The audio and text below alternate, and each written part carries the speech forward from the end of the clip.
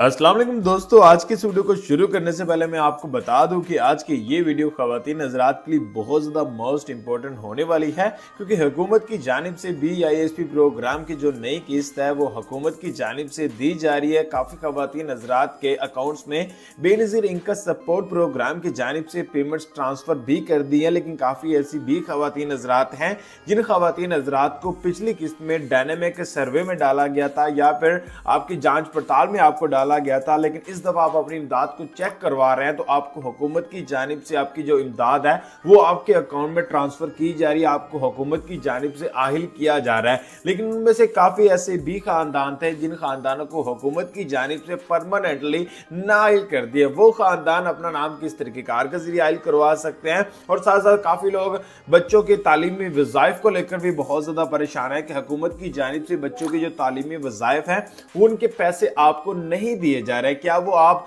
हुकूमत की जानब से हासिल कर सकते हैं? तो आज की इस वीडियो में आपके साथ मैं कंप्लीट इंफॉर्मेशन शेयर करने वाला हूँ कि हुकूमत की जानब से तमाम गरीब खानदानों के, यानी तमाम गरीब बच्चों के तालीमी वज़ाइफ के जो पैसे हैं, वो आपको इस दफ़ा मिलेंगे या फिर आपको हुकूमत की जानब से पैसे नहीं मिलेंगे। इन तमाम मामला पे आज इंशाल्लाह बात करेंगे। आज के इस वीडियो को अपने हरगिज स्किप नहीं करना। आज की इस वीडियो को आपने मुकम्मल ज़रूर से देखना और अगर आप इस चैनल पर नए आ चुके हैं तो नीचे आप सामने रेड कलर का आपको बटन नज़र रहेगा आप लाजमी तौर पर इस चैनल को सब्सक्राइब करके बेल नोटिफिकेशन को आप ऑल पे सेट कर सकते हैं। अब बात आ जाती है कि हुकूमत की जानब से जिन खातन हजरात को नाइल कर दिया, वो खातन हजरात अपनी इमदाद को, इमदाद के लिए किस किस तरीके से आयल हो सकते हैं? हुकूमत की जानब से आपको इमदादें तो तकसीम की जा रही हैं, साथ साथ हुकूमत की जानब से 2024 के लिए नई जो रजिस्ट्रेशन है, उसका भी आगाज़ कर दिया। अब रजिस्ट्रेशन करवाने के लिए सिंपल सा काम है, अपना शनाख्ती कार्ड ले लेना है, कुछ आपसे चंद चीज़ें और रिक्वायर्ड होगी। आपने वो सारी की सारी चीज़ें ले ली, आपने किसी भी गरीबी बी एस दफ्तर में जाकर अपना सर्वे करवा लेना है। सर्वे करवाते सार फौरी तौर पर आपको हुकूमत की जब से पेमेंट्स मिल जाएगी। आप सोचेंगे कि आपको इस तरह पहले नहीं इमदादें मिल रही थी। तो मैं आपको बता दूँ, वो 2023 था, ये जो 2024 है, हुकूमतें तब्दील हो चुकी हैं। हुकूमतें तब्दील, अब जो भी काम किया जाता है, उस पर फौरी एक्शन लिया जाता है। जैसे सबक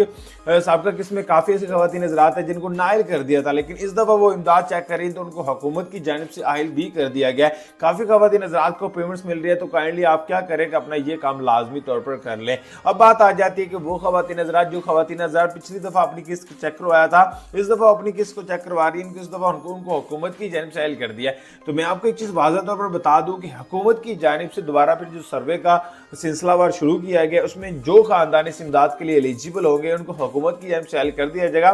जो इसके लिए एलिजिबल नहीं होंगे, फौरी तौर पर उनको हुकूमत की जानब से नायल कर दिया जाएगा।